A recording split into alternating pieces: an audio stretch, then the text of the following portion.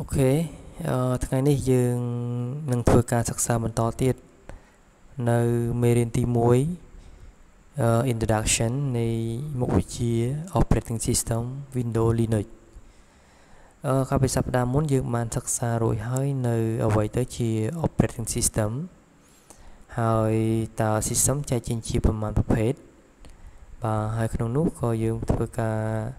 បានធ្វើការស្វែងយល់រួចរាល់ទៅលើ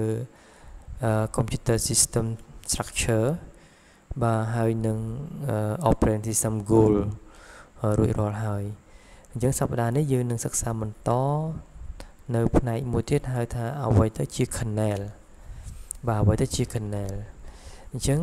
kernel នៅក្នុងមេរៀននេះគេថា kernel គឺជា computer program មួយដែលគ្រប់គ្រងទៅលើ IO បាទ IO នេះគឺ input output ដែលមានការស្នើសុំពី software ហើយបកប្រែការស្នើសុំនេះទៅជា data processing instruction សម្រាប់ CPU និងឧបករណ៍អេឡិចត្រូនិករបស់កុំព្យូទ័រដទៃទៀតបាទចំណុចទី2គេថា kernel គឺជាផ្នែកមូលដ្ឋានមួយនៃប្រព័ន្ធប្រតិបត្តិការរបស់កុំព្យូទ័រទំនើបអញ្ចឹងនិយាយជារួមមកគឺ kernel នេះ វាគឺជា program គេថា computer program មួយដែលអឺបាន build ជាមួយនឹង operating system រួចហើយបាទហើយអ្វីដែលជាលក្ខណៈពិសេសហើយការងាររបស់ kernel នោះយើងអាចមើលឃើញនៅក្នុងរូបភាពបាទនៅក្នុងរូបភាពនេះក៏ដូចជានៅក្នុងរូបភាពនេះអញ្ចឹង kernel វាជាចំណុចកណ្ដាលណា kernel គឺជាចំណុចកណ្ដាលរវាង application ហើយនឹង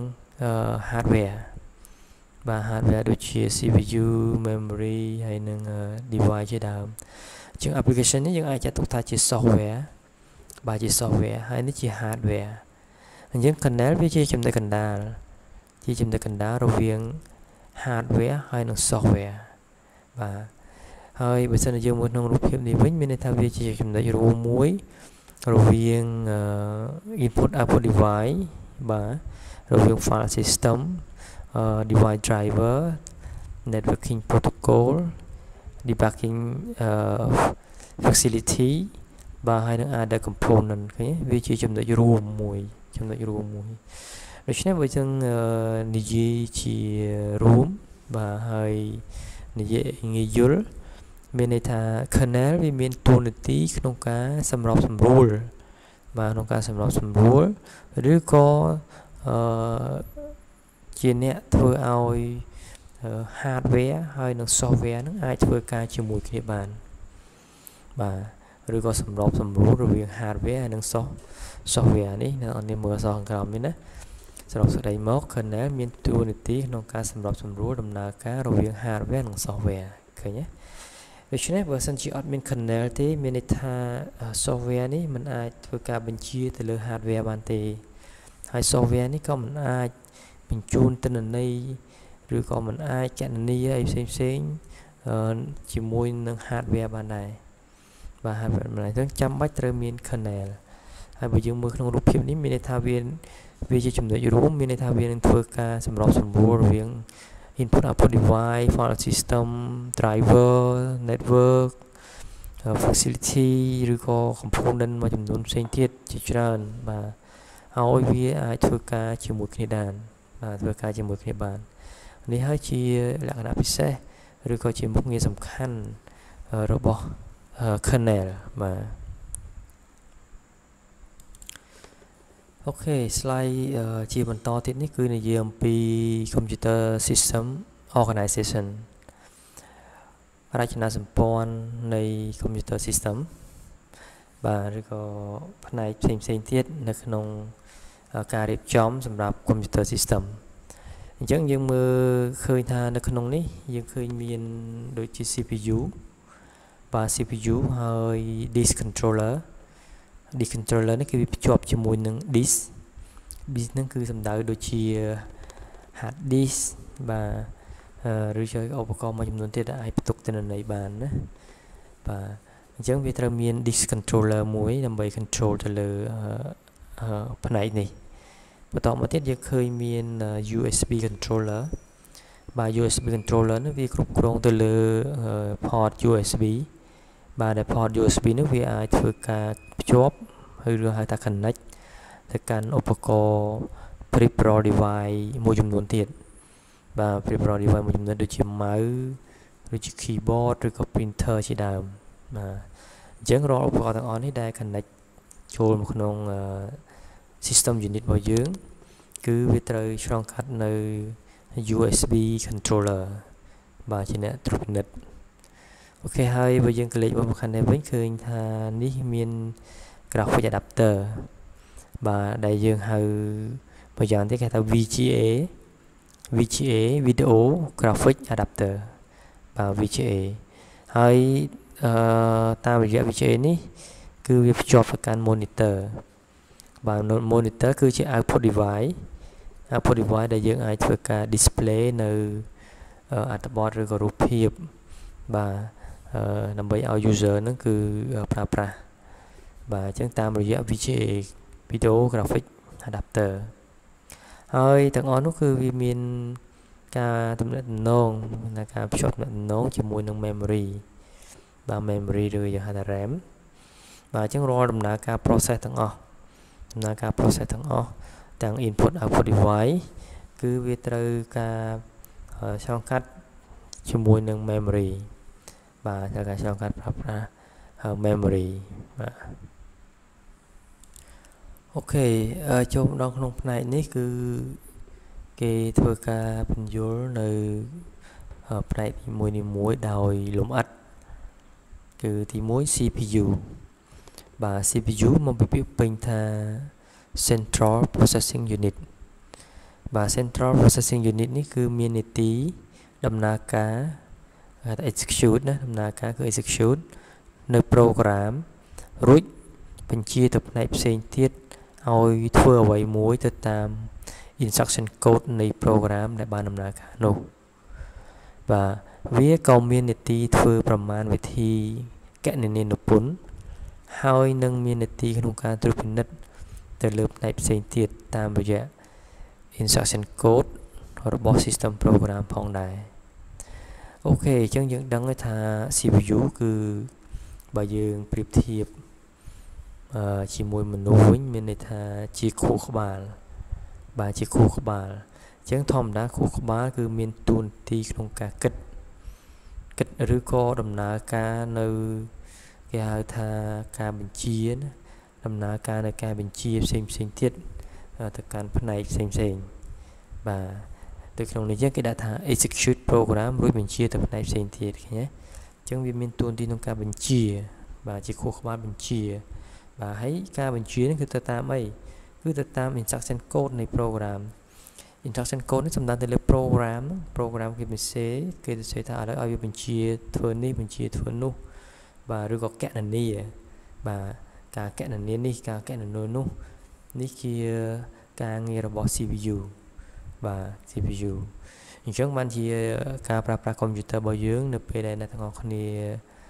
run នៅកម្មវិធីណាមួយដែលវាទាមទារការ process ច្រើន ជាពិសេសដូចជា game អញ្ចឹង game នៅទាំងអស់គ្នា run គឺទាមទារការ process ច្រើនអញ្ចឹងការ process ច្រើន គឺវាធ្វើឲ្យ CPU នឹងវាមមាញឹកដែរ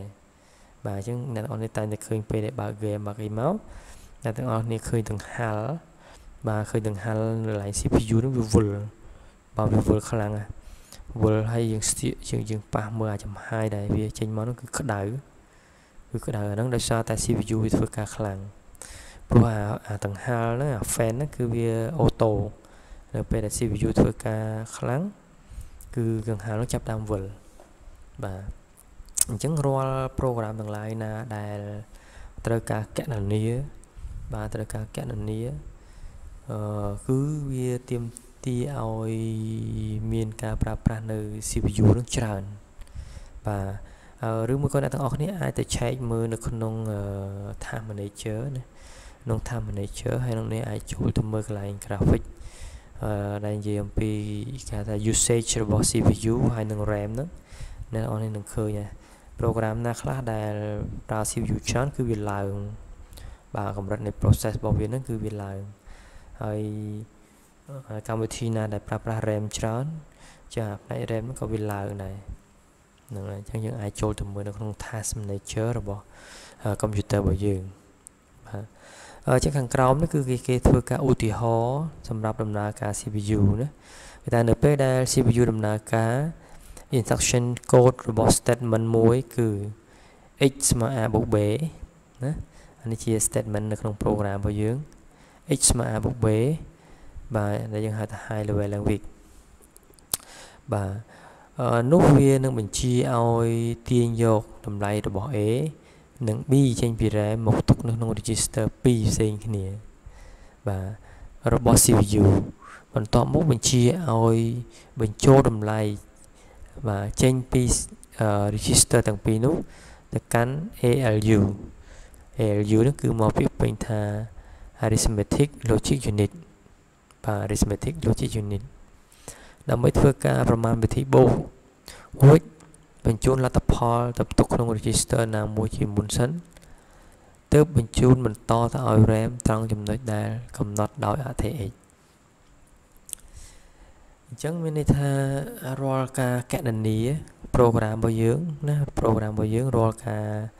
រាល់ផ្នែកដែលយើងធ្វើការកណនាបាទអញ្ចឹងវាត្រូវដំណើរការ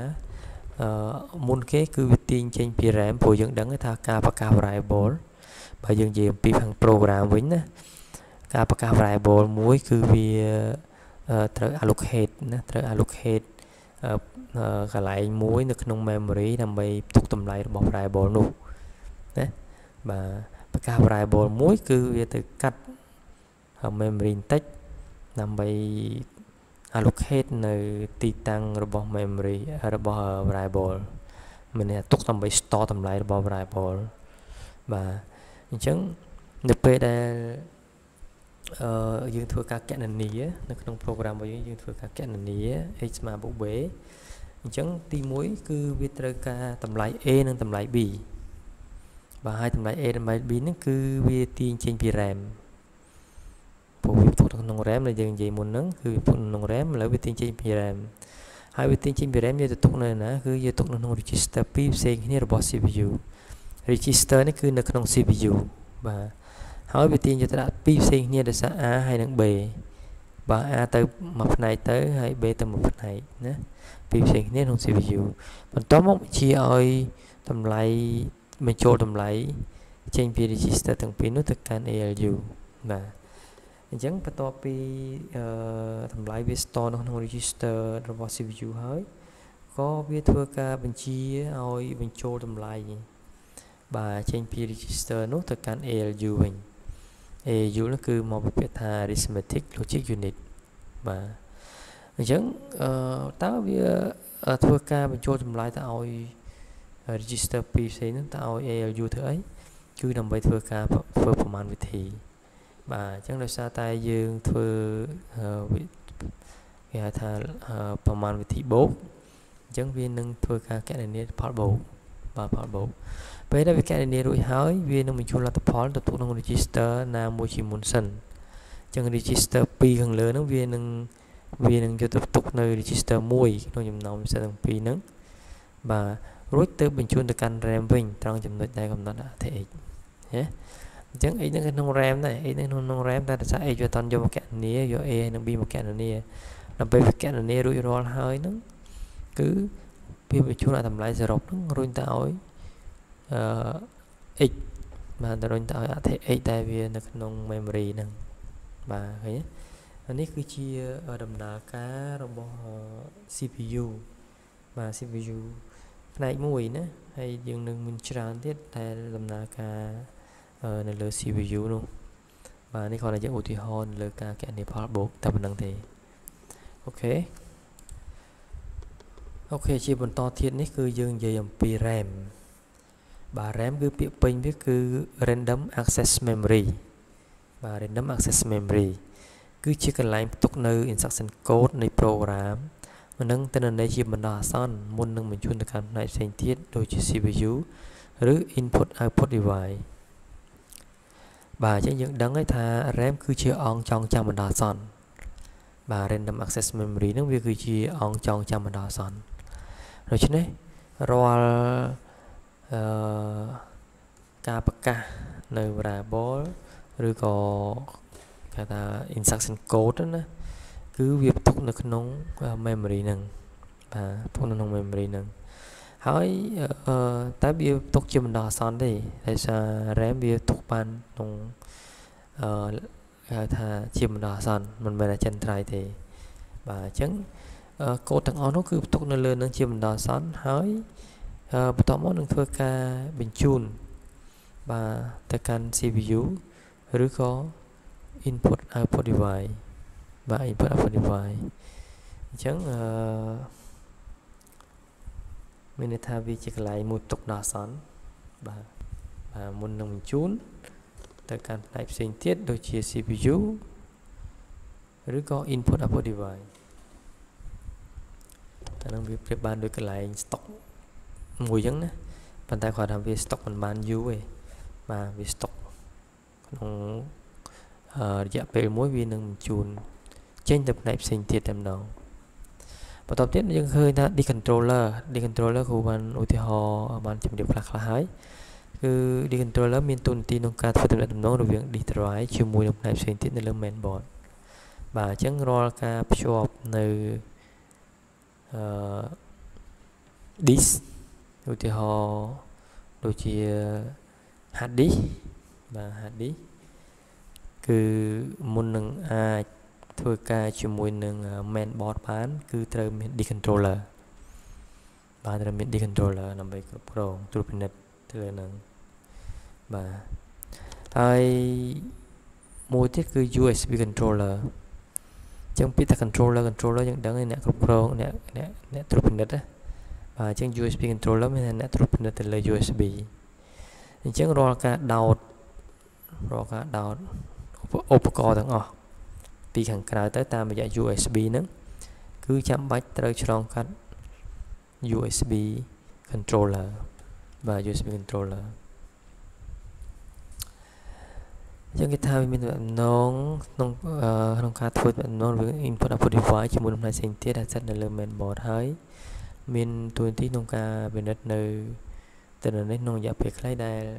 កន្លែងទុកនោះត្រូវបានគេហៅថា buffer អញ្ចឹង D controller នេះគឺវាធ្វើការជាមួយនឹង buffer មួយទៀត okay ពាក្យថា buffer នេះគឺកន្លែងមួយផ្ទុកបណ្ដោះអាសន្នដែរ okay មួយទៀតគឺ graphic adapter បាទ graphic adapter